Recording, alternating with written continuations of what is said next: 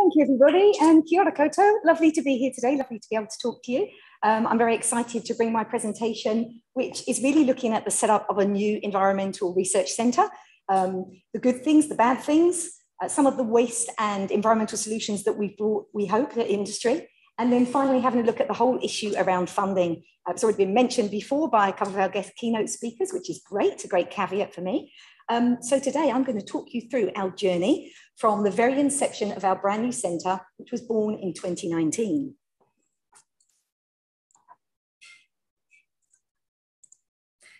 So our little baby, Environmental Solutions Research Centre, was born in 2019. At the beginning, there were only three of us, and there are now seven of us.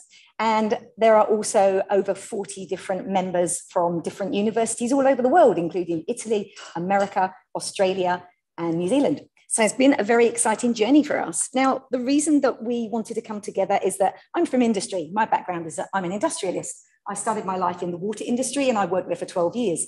And so that connection has never really gone away. And what we wanted to do was start looking at industry engaged research that actually provided solutions. Now, we realized that lots of these issues are transdisciplinary and we don't have all the answers. So we decided the best way to do it was to partner. But we weren't just going to partner with academia. We wanted to partner with industry and government too. And that was always our goal. Now, we wanted to look at tackling waste and pollution specifically in New Zealand. And I'll talk a bit about some of those things we've looked at in, in the next few slides. And we also made, made it a real key part of our job to go and start collaborating with lots of different people. So, as I said, our issues are waste and pollution. And we had this ambition to find practical solutions. So, the applied side of this is yeah, we probably can't do the best blue skies research. We come from a polytechnic, and that's not what we're known for. However, we can connect and we can collaborate with universities that can do that and with industry to actually set up those practical solutions that we can actually take out onto site. And that's one of the things we aim to do. Um, we realized that it would mean some new R&D, as, again, which we've done with, with our partners. And we realized that we needed to look at these with an economical lens on it, because actually providing an environmental solution that costs a fortune is never going to work, right? Uh, providing an environmental solution that socially isn't acceptable or the community or the industry doesn't get on board with, it's not going to work either. So we needed to look through these three different lenses. Um, and then the, the key part, the bit that's been so tricky, and I'm going to talk about more today, is raising funds. How are we going to raise funds? How is a small polytechnic in New Zealand that's not well known necessarily for its research going to start raising funds? I hope nobody from, nobody from Unitec is watching this. Anyway, um, so what we did was we set up the ESRC, and that was our structure. Um, and our structure, as you can say, is pretty pretty small. And we went through probably 18 months of setting up our centre, which went through all of these different phases. I'm not going to talk through them, but I can tell you it took an awful long time and we had to maintain a sense of humour while we were doing it. Eventually, we got it, and in 2019, we had a big party before COVID hit, and we celebrated our baby. Now, the next step was okay, we've got to find funding. Where are we going to get funding from? Who's going to fund us? No, nobody knows who we are. We thought, let's start by doing what every other uni will do, and let's go to some of these big research funds.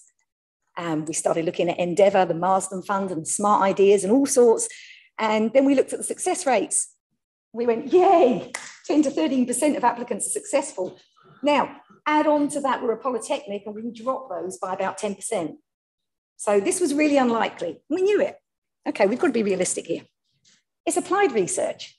Who funds applied research? Is applied research really a big part of PBF, PBRF, or was it? Apologies, PBRF is the way that um, we gain money for some of our research from government. Um, so applied research has never really been well supported, and we know that.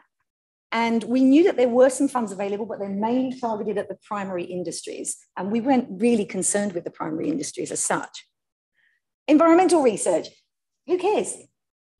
I mean, I hate to say it, but who does care? Unfortunately, with environmental research, it's great to do brilliant things for the environment as long as it doesn't cost. And there nearly always is a cost.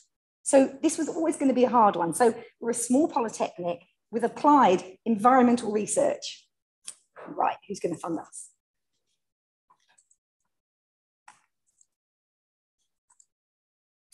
So I put this up, I don't know how well you can see it because of the other things. Let me see if I can just get rid of it.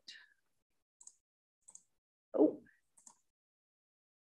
Anybody know how to get rid of this? On the top. Yeah. This one? Oh, there we go. Brilliant. There we go. I put this up because I found this and I thought this is brilliant. Okay. So we're trying to build all these houses in New Zealand and we've, we've got a housing crisis.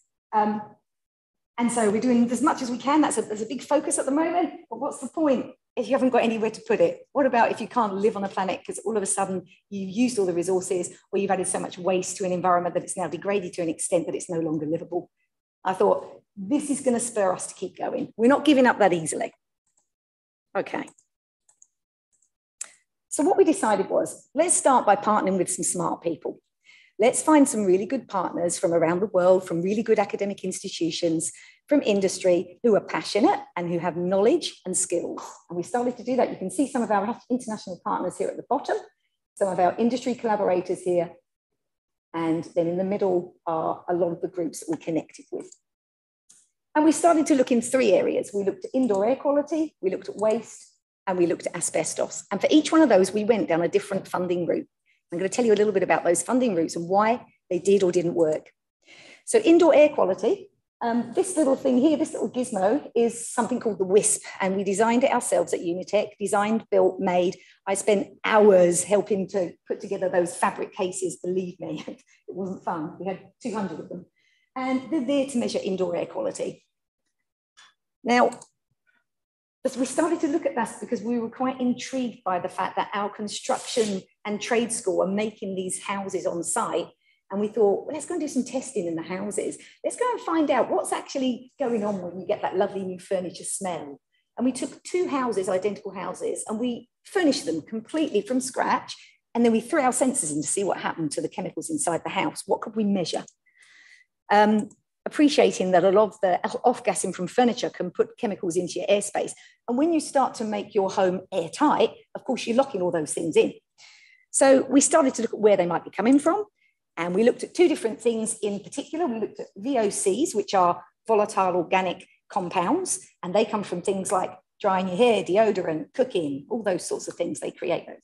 And the other thing is particulate matter, which generally comes from outside, but things like burning fuels, coal fires, car exhausts um, are main contributors. And they do us harm, they're not good for us.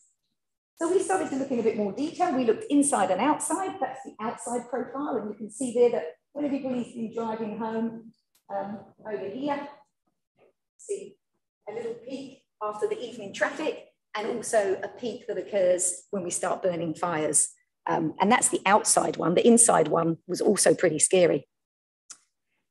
So we had a number of different studies. Excuse me, I'm going to start with this one. The first study looked at, I said, as our identical homes, and we furnished them. And what we found when we looked inside was that if we didn't have any mechanical ventilation on, and these were a mixture of airtight and um, less airtight homes, so the test there was our really airtight home, and the control there was our less airtight home, just your sort of standard timber build.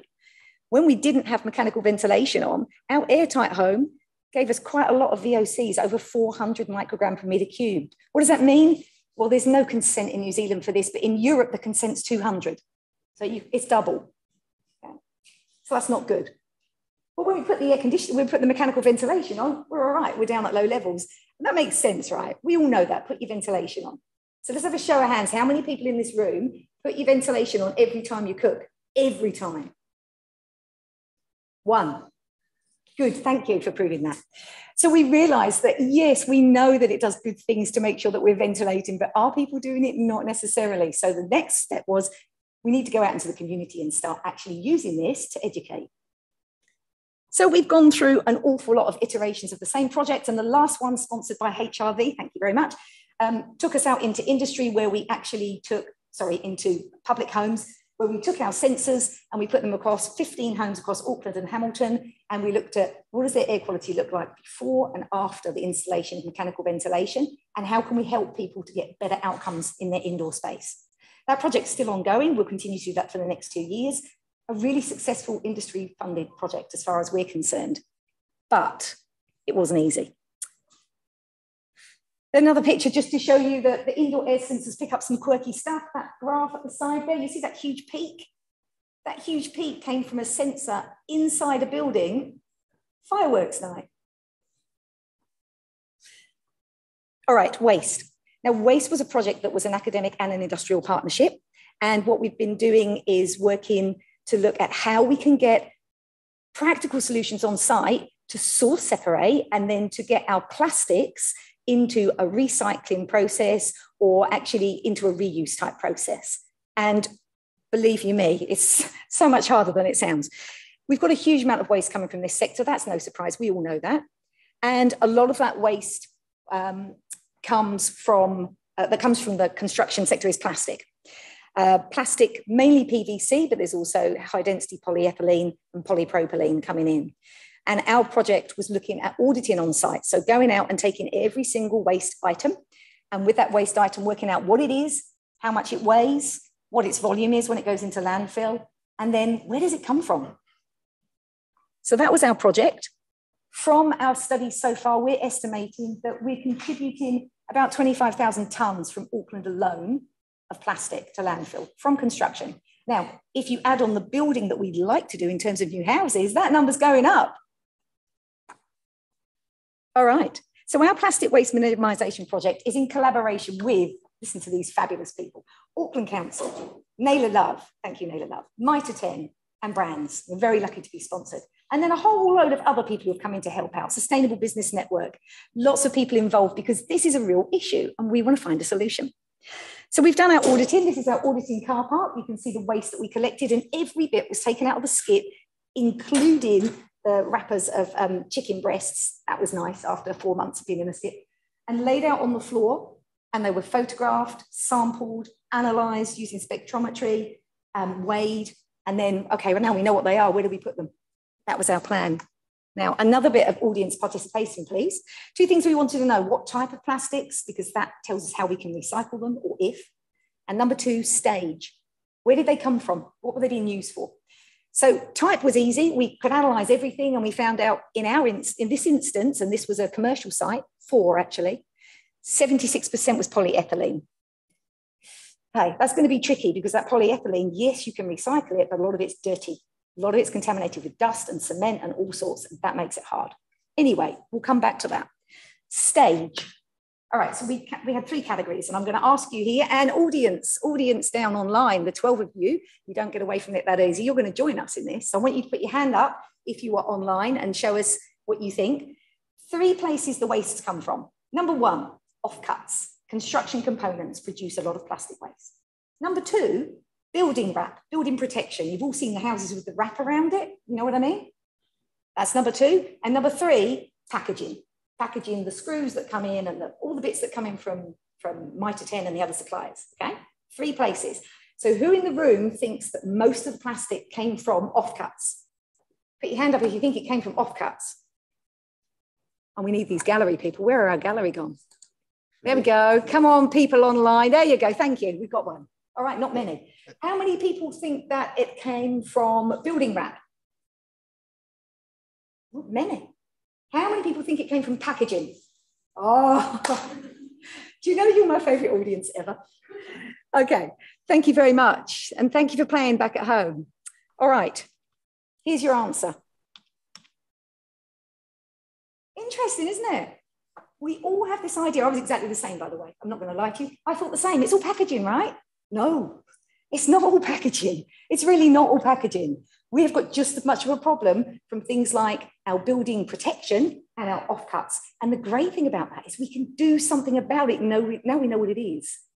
I'll tell you all about that later on, maybe over a coffee. So we thought we're going to start with a new system. We are going to go with refuse, reduce, reuse, recycle. And the refuse is we're going to go back to suppliers and say, can you stop wrapping it with that? Do you really need to wrap it with that? Can we get rid of some of this stuff? That was our first step. So offcuts, we started talking to manufacturers and being a real pain in the backside and saying, can you take this back? Can you take the offcut? But don't take it back and put it in the bin because that's not solving it. Take it back and make it into a new product. And unbelievably, so many people went, yeah, all right, cool, good, that's one. Naylor Love, Annie's going to come and talk to you later on, I believe, tomorrow, and uh, she's an inspiration. And she helped us with raising awareness on site and how do we incentivize and how do we get people on board and excited. And if anybody can get construction guys excited, it's Annie. Um, and we started to look at, well, what, where are some of the plastics coming that we can do something about so they don't get to site? one of the things that we came up with was designing timber pack covers so that timber now goes to all Naylor Love sites without packaging. Then they put the tarpaulin on, and when it's all used, they take the tarpaulin off and it's ready for the next lot that's delivered. And finally, and this is our favorite little bit, we like this one. Mitre 10 decided that they'd never really asked their customers if they wanted packaging or not.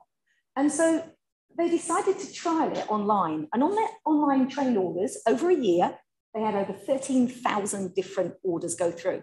And they added this special little button. Oh, oh my goodness, I'm so sorry. They added this special little button, which we like to call the magic button. Here's the magic button. And what it says is, no, I do not wish these products to be wrapped. Yes, I want these products to be wrapped. And it's been set up so that you have to actively go and press yes. It's automatically on no. And you know the really good news?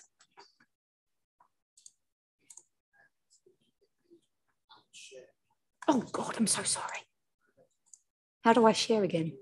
Will help you share screen. Go on, share screen.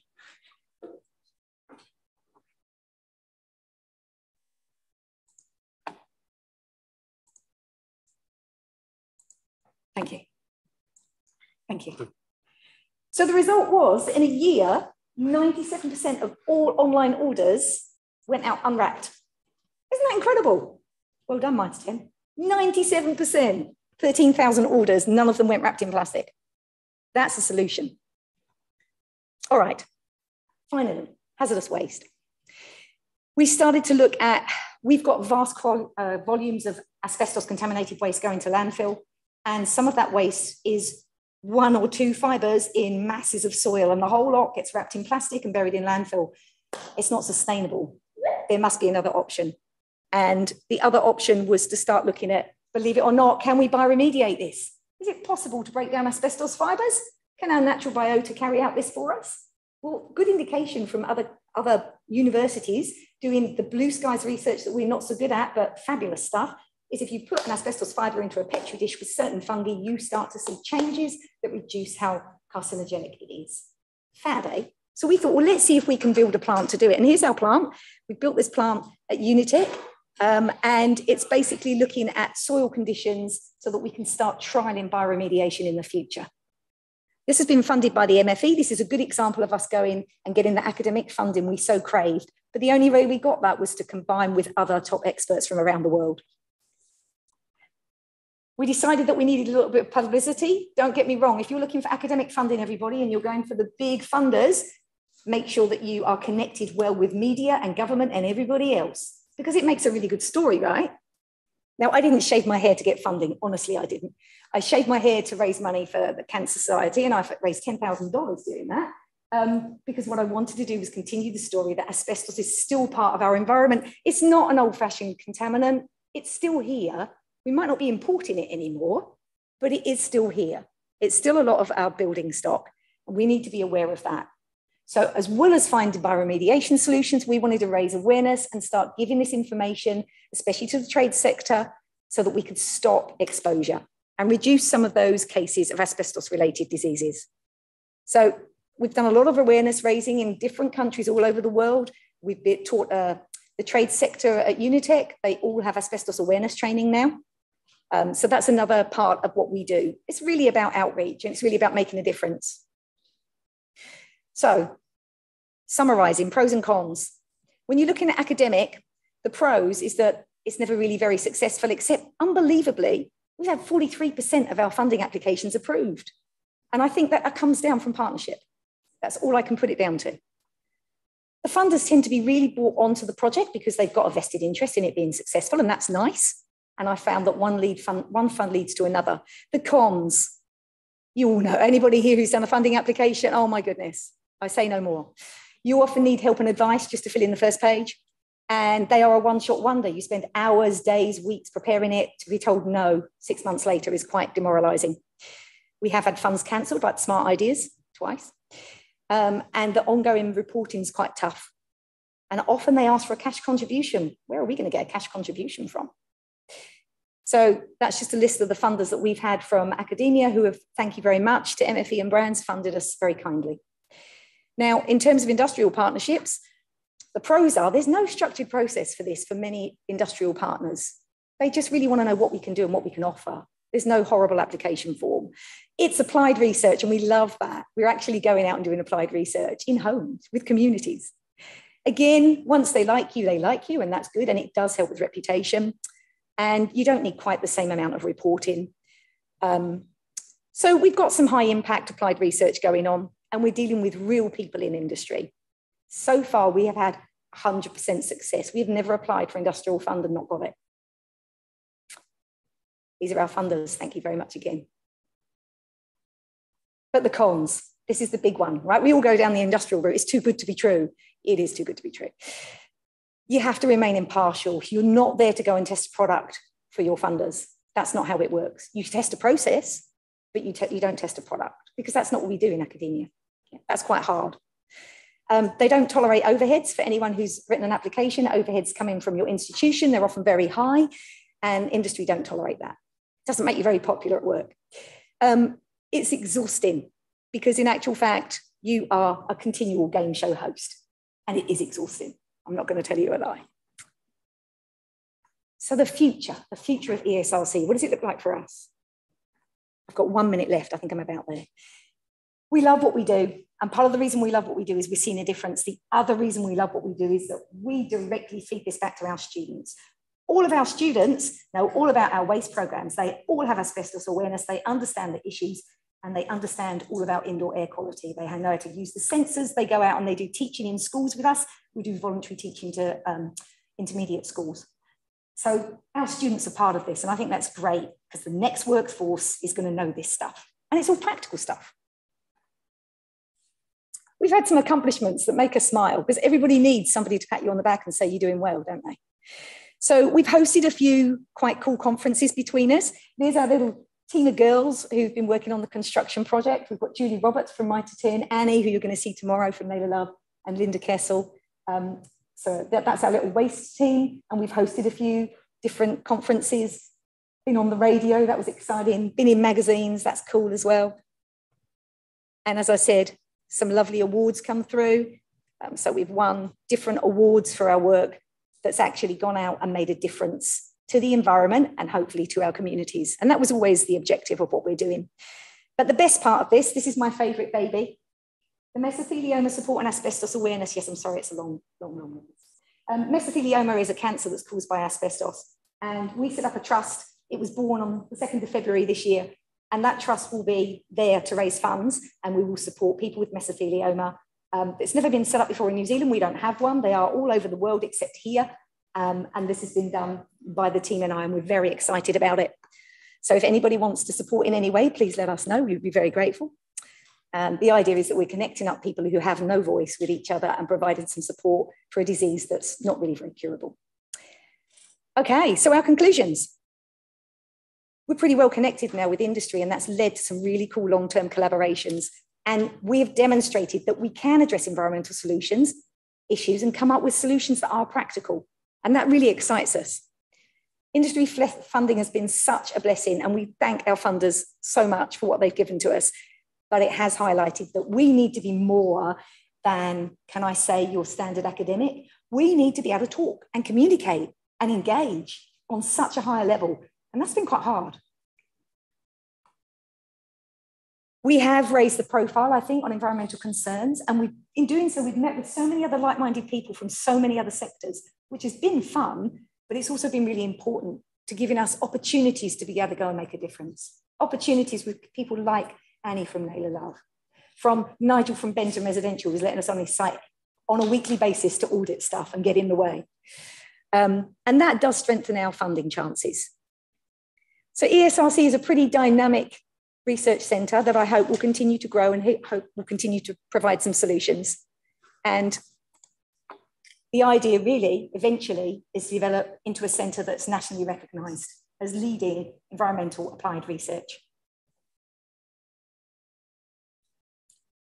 Just want to say a huge thank you to all of those people that supported us, supported us and given us a chance. And thank you all for listening.